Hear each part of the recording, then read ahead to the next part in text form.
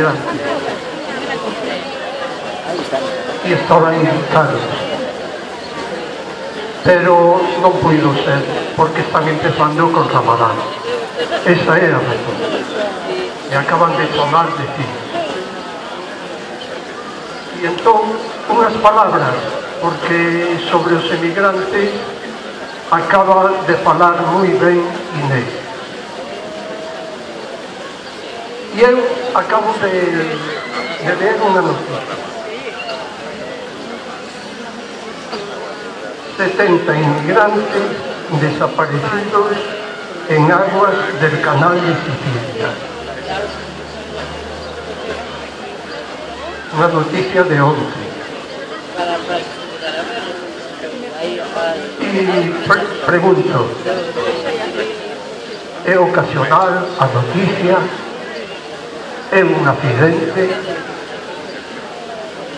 é algo que non se pode solucionar,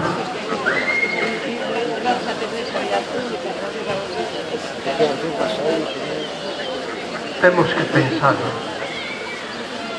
e temos que pensar tamén como nos situamos nós ante estas noticias temos outras máis cercanas temos Ceuta e Melilla máis perto de nós ¿Cómo calificar eso?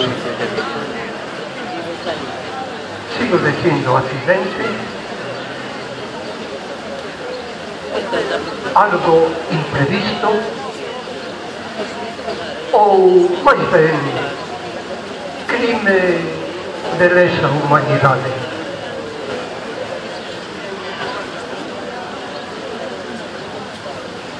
e sigo dicindo e eh, repetindo e nós como nos situamos ante isto?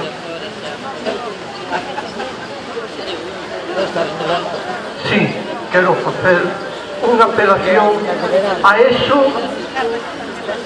que nos une a todos que nos iguala a todos que é esa palabra bonita humanidade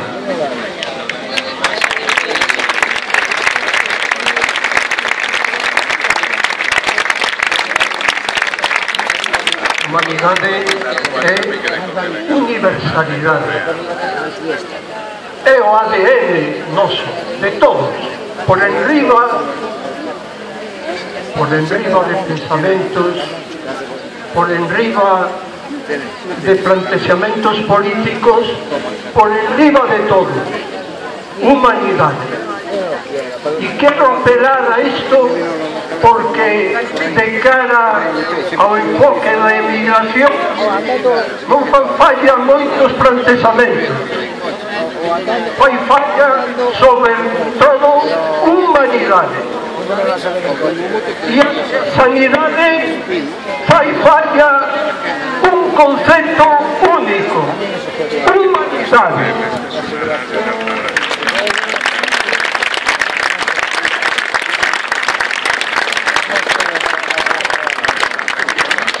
como nos situamos, é cuestión de optar. Ou ben seguimos bailando a agua a este sistema que provoca que provoca morte, provoca destrucción, provoca división, provoca fame, 600.000 galegos xa no umbral da pobreza. Podemos permitir isto? Quero facer un chamamento porque de seguro que me oixe desferrar moito pola rúa moitas veces pero eso non é suficiente. Eso non basta.